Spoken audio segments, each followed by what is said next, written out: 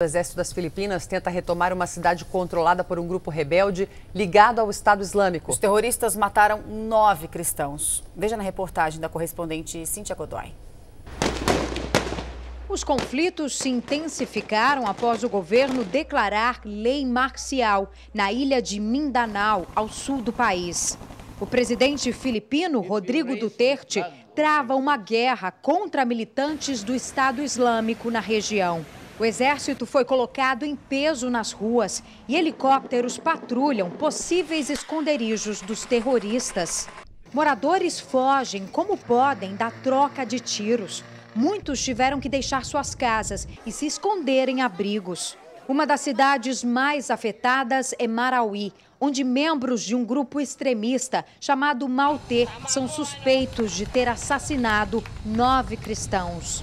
Os terroristas teriam abordado o grupo em um posto de controle rodoviário na cidade de Marauí e forçado as vítimas a descer do veículo.